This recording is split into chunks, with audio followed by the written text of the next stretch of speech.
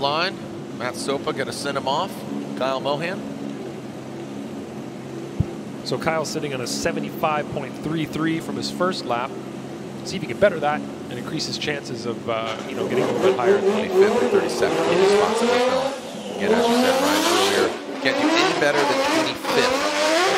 Mile home, mile, woo, Kyle with an aggressive flick there.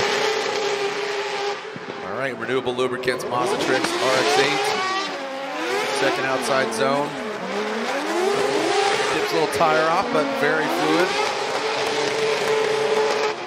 Now the E-Flex full, ooh, hard on the brakes. You saw that? So again, that again, the, the momentum lights going fully red just like that. So it's very interesting there. And keep in mind the the the momentum lights that go green to, to move to yellow to red, right? Um, it, it's G's. It's not has nothing to do with the brake lights. Right, or the throttle or anything Yep, like that. Yeah, exactly. So he had a decent initiation, missed part of outside zone one, and kind of a low had a low angle situation at the transition area, and then outside zone two filled it mostly. Could have been a little bit deeper there in the zone.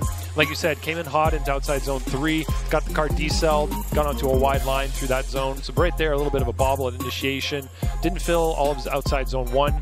And then on transition here, big decel from him. But if you're coming in fast, you got to slow the car down, get yourself out to that wall. And then through outside zone two, left it a little bit early. Transitioning to outside zone three right here. Again, the, the reds came on slightly. And then good line for outside zone three. You hear that throttle really, uh, really winding up. And of course, it's really easy to, to tell with this uh, type of drivetrain when he's on throttle or not. Get that uh, different sound that we're not really accustomed to with the other cars. That sort of high-pitched sound from the, the Wankel rotary in there. But let's see what type of score that our friend Kyle put together here. 77.66. 7.66 for Does Kyle Mohan. Yep. All right, so Mohan 77.66.